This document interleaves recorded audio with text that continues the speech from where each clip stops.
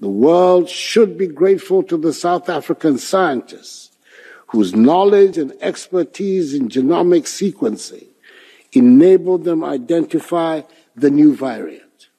Plaudits, not the condemnation of their peoples, should have been their portion. Why is there not a travel ban imposed on the Netherlands but against South Africa?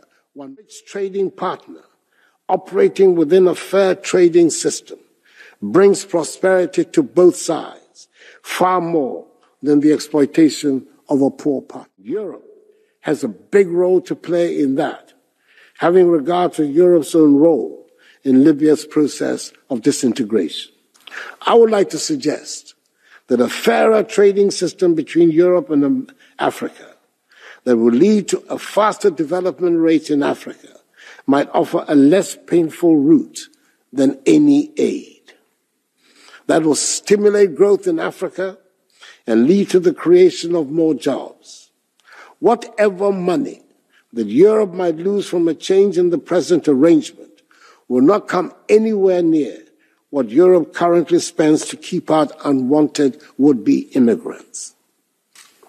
We in Ghana and in Africa have followed the EU story keenly, and we're hopeful that sooner rather than later, we will be able to replicate the successes you have chalked over the years. The peoples of Europe and Africa have been dealing with each other from the beginnings of time. Our histories are intrinsically linked. There are tales told that stretch the imagination. There are incontestable physical proofs of the relationship dotted around both continents. There are painful and indelible memories, and there are ones that bring smiles. At its narrowest point, only 15 kilometers separate Europe and Africa in the Strait of Gibraltar.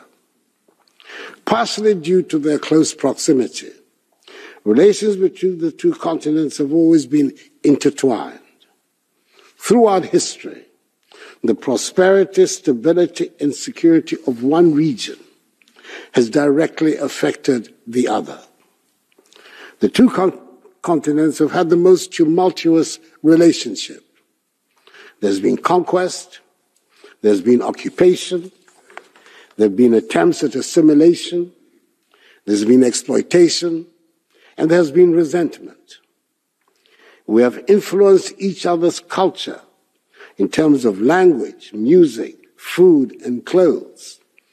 But one would hesitate to say that the Africans and Europeans can really claim to know each other. It was Europe, our closest neighbor, after all, that gave us the notorious sobriquet of the Dark Continent. This being a, maybe an appropriate occasion to say that we in Africa have not always regarded Europeans and Europe as the most straightforward people we have known. We have many synonyms for Europeans, some of which are not the most complimentary. There's little doubt, however, that Europe has had the most dominant external influence on Africa through language, religion, and governance systems. Take your minds back, if you will, to the predictions in March and April last year the experts were united that Africa was going to be hit dramatically. And because of her relatively weak public health systems, her streets will be littered with dead bodies when the virus reached the continent. Mercifully, and by the grace of God, the predictions have not come to pass. And so far, Africa has not witnessed the dire scenes that we feared. Watching the world from Accra, it appears to us as though the experts, and for experts, you might read Europeans, which is one of our synonyms for experts, were disappointed that Africans were not dying as been predicted. We were not given credit for quickly following the science as recommended when many leaders in Europe were still fighting ideological battles and seeking to lay blame on the source of the virus rather than uniting to fight it. At every stage, we in Africa have been dismayed to discover that every attempt was being made to make COVID 19 also an African disease. Thus, the narrative emerged that it was not really that Africans were not dying from the pandemic. We had to be covered of infections.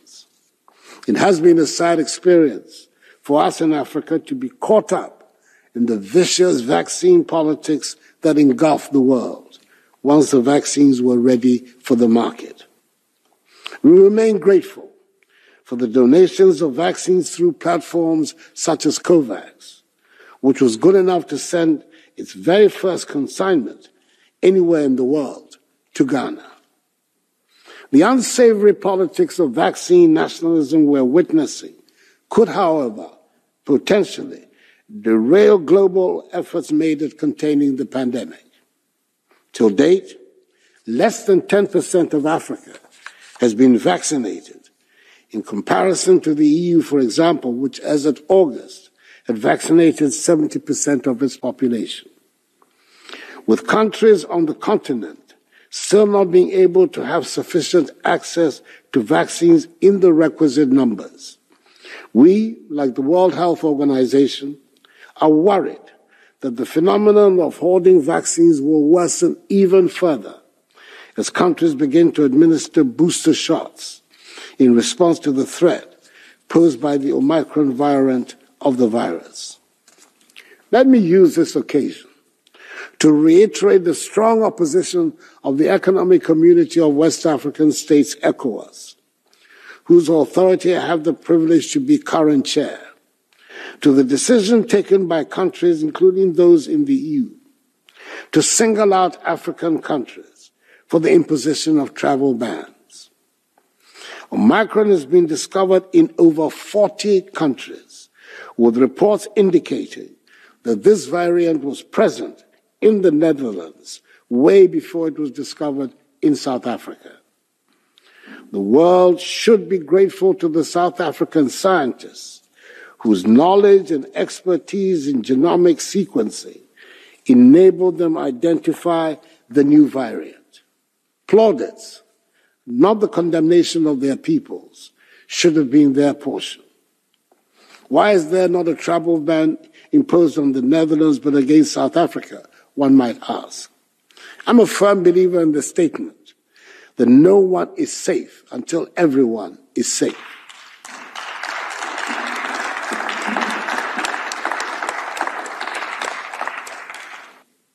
We need to be self reliant and shed the image of beggars living on charity, aid, and handouts, and make better and more intelligent use of our abundant natural resources in order to pull ourselves out of poverty into prosperity.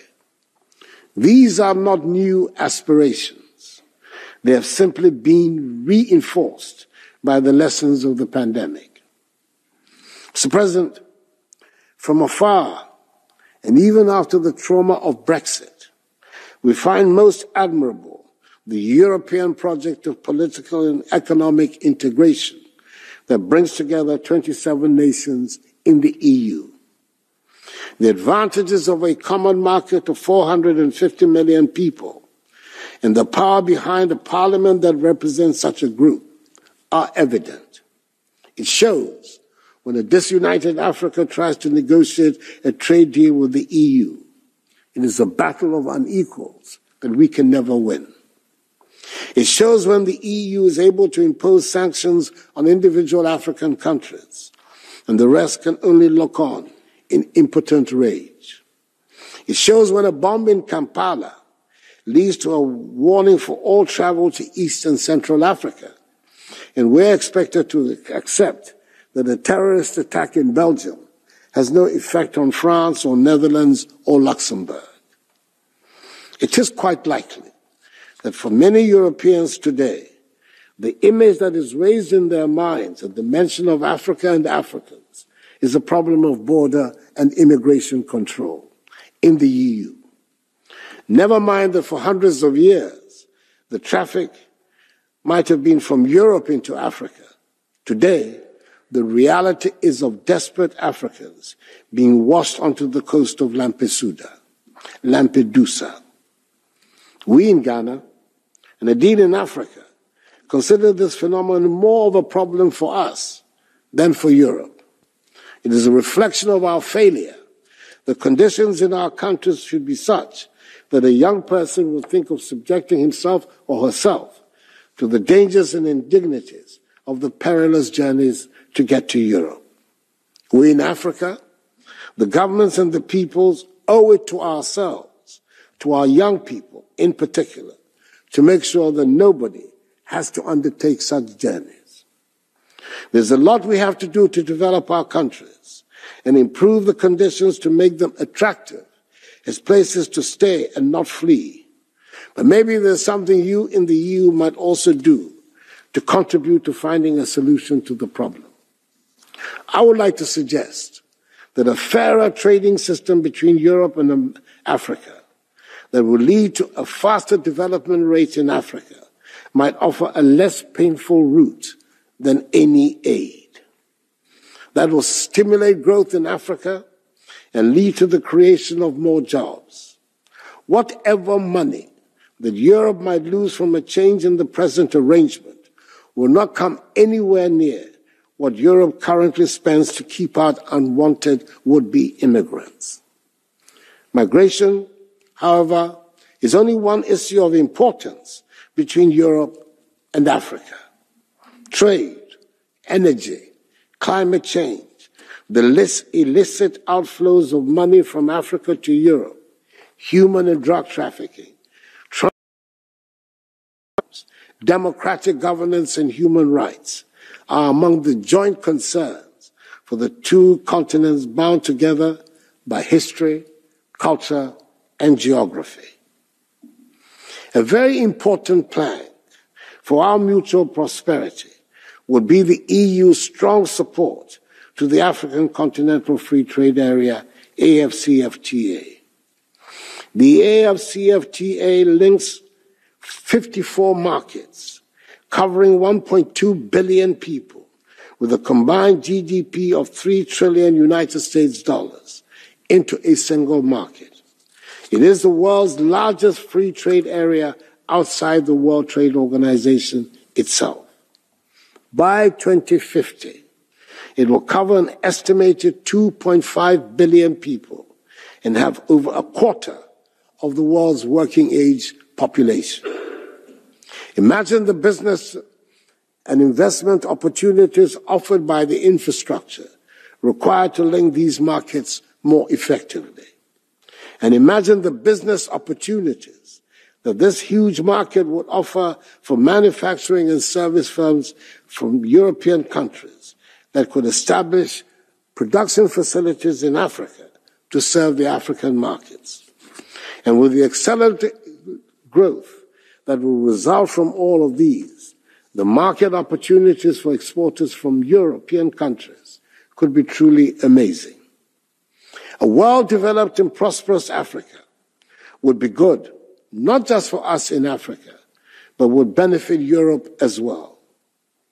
Euro history has taught us that a rich trading partner operating within a fair trading system brings prosperity to both sides far more than the exploitation of a poor partner. As it becomes clearer to all of us, the problems that face the world are more likely to be quickly resolved when we are all prosperous than when half the world is immersed in poverty. The problems of the environment and climate change in particular, can only be properly addressed when we're able to deal with poverty. A hungry, homeless, jobless person has not got much at stake in the battle we want to fight for the survival of the planet. It is also not likely that the underdeveloped part of the world will want to serve as the forest reserve or museum to save the planet for the developed, prosperous world. I happen to believe that no one needs to be poor for others to be rich. We're fully committed to the necessity to act to save the planet from climate degradation. Indeed, our continent, for instance, the example of Lake Chad, has been the hardest hit from the adverse effects of climate change. We believe, however, that asking Africa to abandon forthwith the exploitation of her abundant natural resources is to condemn Africa to perpetual poverty. The developed world is responsible for 76% of global carbon emissions, whilst Africa is responsible for 4%. There's therefore the obvious need for a balance between the social, economic, and environmental imperatives of climate action if equitable global development is to be achieved. There is enough on our planet to enable all of us to be prosperous in a sustainable world. We in Ghana continue to benefit from our partnership with the EU on the sustainable development of our cocoa industry and the implementation of the Green Ghana project, which seeks to plant in Ghana 10 million trees every year. Mr. President, our two continents do not seem to be able to do without one another. So, what can we do to bring about a closer relationship that deals with the centuries of distrust? Relations between the two continents must be premised on equal participation and representation.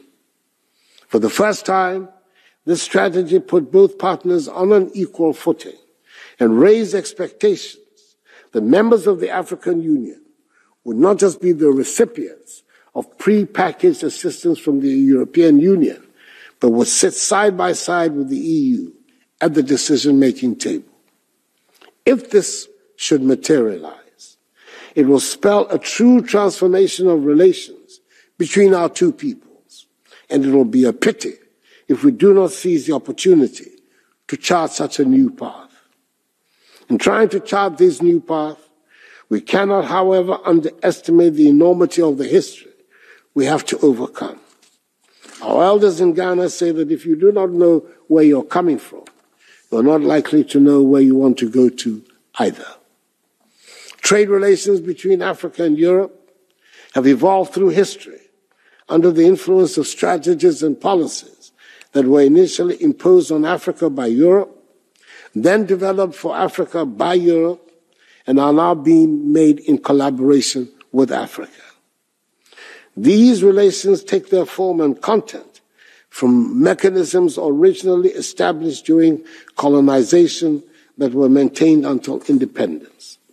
It is clear that a new paradigm has to be defined, which will be dependent on the structural transformation of African economies from raw material producing and exporting economies to value adding industrializing economies. This will enable Africans trade at the high end of the global value chain, dealing in products we make and grow. Out of this, a robust trading system between Europe and Africa will be created, which will generate mutual prosperity for the peoples of the two continents defining effective means to stop the illicit flows of substantial monies from Africa to Europe, and building strategic partnerships hinged on Africa's growth and transformation. This will be a win-win for African countries and European countries.